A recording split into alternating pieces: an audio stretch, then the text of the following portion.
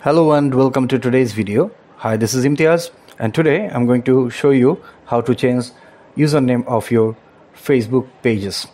So for this you have to go to the profile page by clicking top right uh, left side of the of your home feed.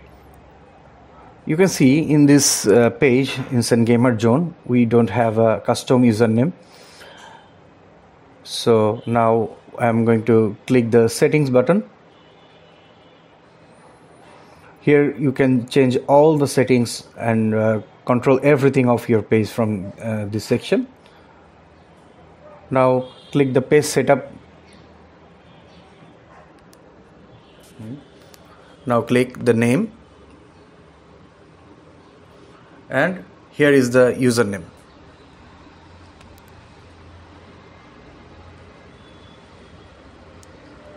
Add your desired username here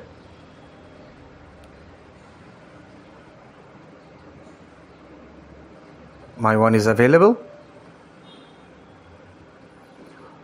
Let me change a bit.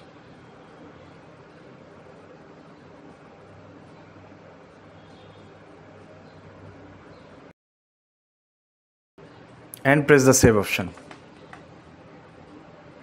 Now facebook will ask for your uh, original facebook profile password. Give that and press submit